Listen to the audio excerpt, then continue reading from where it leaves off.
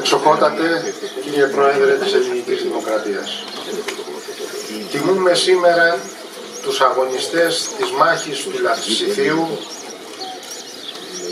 και τιμούμε πάνω απ' όλα την απόφασή τους να αντισταθούν, να διεκδικήσουν την ελευθερία και την αξιοπρέπεια ενός λαού που έχει γράψει σελίδες δόξας στη ιστορία της χώρας μας. Και έχει μεγάλη αξία το γεγονός ότι τιμάμε μια απόφαση. Είναι γεμάτη η ελληνική ιστορία από γενναίες αποφάσεις των απλών ανθρώπων του λαού μας που αντιστάθηκαν στους κατακτητές που διεκδίκησαν την ελευθερία και την πίστη τους. Αυτός ο τόπος είναι γεμάτος από παραδείγματα αυτών των απλών ανθρώπων του λαού μας που έδωσαν τα πάντα, τη ζωή τους, το αίμα τους για την ελευθερία του τόπου μας. Σε αυτόν εδώ τον τόπο που γνώρισε πολλούς κατακτητές αλλά ποτέ δεν λύγησε. Ποτέ δεν λύγησε απέναντι στη δύναμη του ισχυρού και έδωσε όπως πολύ σωστά είπε σήμερα στην ομιλία του ο Σεβασμιότατος Μητροπολίτης Γεράσιμος έναν μεγάλο και τιτάνιο αγώνα. Έναν άνισο και τιτάνιο αγώνα. Μα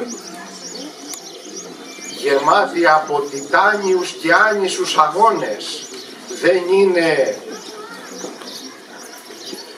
όλη η ελληνική ιστορία γεμάτη από τις μάχες για την εθνική ανεξαρτησία και ελευθερία μέχρι τη μάχη ενάντια στους Γερμανούς κατακτητές αυτός εδώ ο αιματοβαμένος τόπος σηκώνει ψηλά τη σημαία της εθνικής υπερηφάνειας για την εθνική ολοκλήρωση και για την πίστη αυτών των ανθρώπων.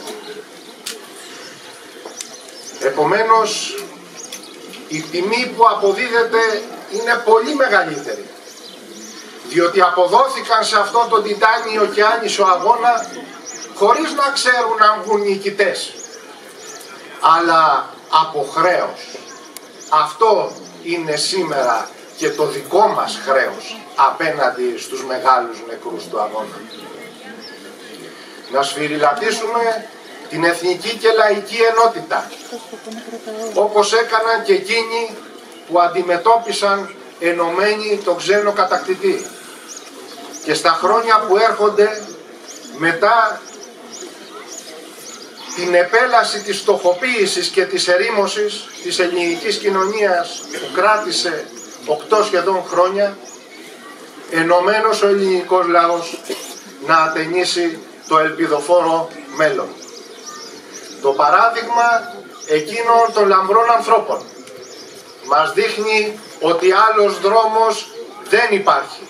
Χρέος μας είναι να τον περπατήσουμε ενωμένοι. Να είσαστε καλά.